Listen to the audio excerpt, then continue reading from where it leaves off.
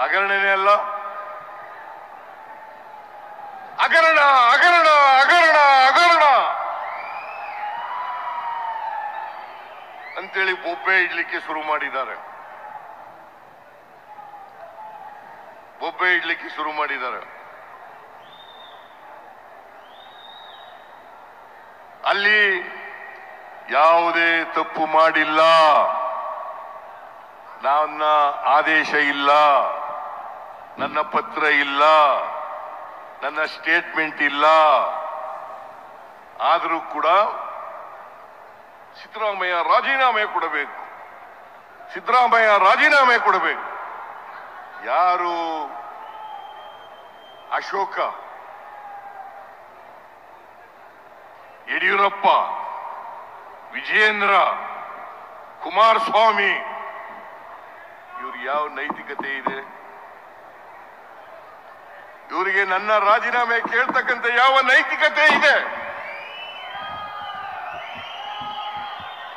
ಯಡಿಯೂರಪ್ಪನವರು ಅವ್ರಿಗೇನಾದ್ರು ಮಾನ ಮರ್ಯಾದೆ ಇದ್ದಿದ್ರೆ ರಾಜಕೀಯದಿಂದ ನಿವೃತ್ತಿ ಆಗಬೇಕಾಗಿತ್ತು. ಎಂಬತ್ತೆರಡು ವರ್ಷ ಅವರಿಗೆ. ಎಂಬತ್ತೆರಡು ವರ್ಷ. ಸೆಕ್ಷುವಲ್ ಹೆರಾಸ್ಮೆಂಟ್ ಮಾಡಿ. ಪೋಕ್ಷೋ ಕೇಸ್ನಲ್ಲಿ ಸಿಕ್ಕಾಕೊಂಡು ಚಾರ್ಜ್ ಶೀಟ್ ಹಾಕಿದ್ದಾರೆ ಅವ್ರ ಮೇಲೆ.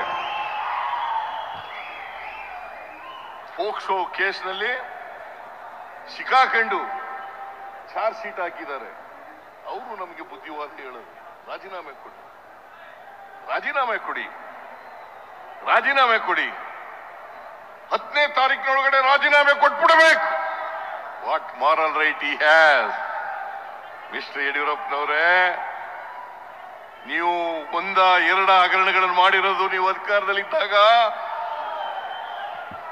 ಸುಮಾರು ಹದಿನೆಂಟು ಇಪ್ಪತ್ತು ಹಗರಣಗಳಲ್ಲಿ ಸ್ವತಃ ಯಡಿಯೂರಪ್ಪನವರೇ ಪಾಲ್ದಾರದಲ್ಲಿ ಸಿಕ್ಕಾಕೊಂಡಿದ್ದಾರೆ. ಹದಿನೆಂಟು ಇಪ್ಪತ್ತು ಹಗರಣಗಳಲ್ಲಿ ಸಿಕ್ಕಾಕೊಂಡಿದ್ದಾರೆ. ವಿಜಯ ಪಾರ್ಟಿ ಅವ್ರು ಹೇಳ್ತಾರೆ ಯಡಿಯೂರಪ್ಪ, ಸಾವಿರಾರು ಕೋಟಿ ರೂಪಾಯಿಗಳನ್ನ ವಿಜಯೇಂದ್ರ ಸಾವಿರಾರು ಕೋಟಿ ರೂಪಾಯಿಗಳನ್ನ ಒಡೆದಿದ್ದಾರೆ ಅಂತ ಹೇಳಿ ವಿಶ್ವನಾಥ್. ಏಯ್ ಮೇಲ್ಮನೆಯ ಸದಸ್ಯ,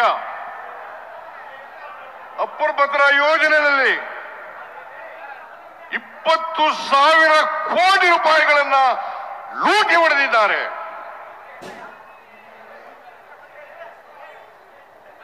ಕುಮಾರಸ್ವಾಮಿ, ನಿಮ್ಗೆ ಯಾವ ನೈತಿಕತೆ ಇದೆಯಲ್ರಿ?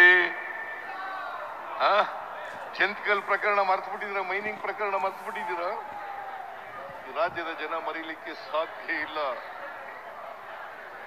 ಜಂತ್ಕಲ್ ಪ್ರಕರಣ ಸುಮಾರು ಇಪ್ಪತ್ತೆರಡು ರಿನಿವಲ್ ನಾಚಿಕೆ ಆಗಲ್ಲ ನಿಮಗೆ? ಮಾನವ ಮರ್ಯಾದೆ ಏನಾದ್ರು ಇದೆಯಾ ನಿಮಗೆ? ನನ್ನ ರಾಜೀನಾಮೆ ಕೇಳಲಿಕ್ಕೆ, ನನ್ನ ರಾಜೀನಾಮೆ ಕೊಳಿಕ್ಕೆ ಕೇಳಲಿಕ್ಕೆ ನಿಮಗೆ ಯಾವ ನೈತಿಕ ಹಕ್ಕಿದೆ?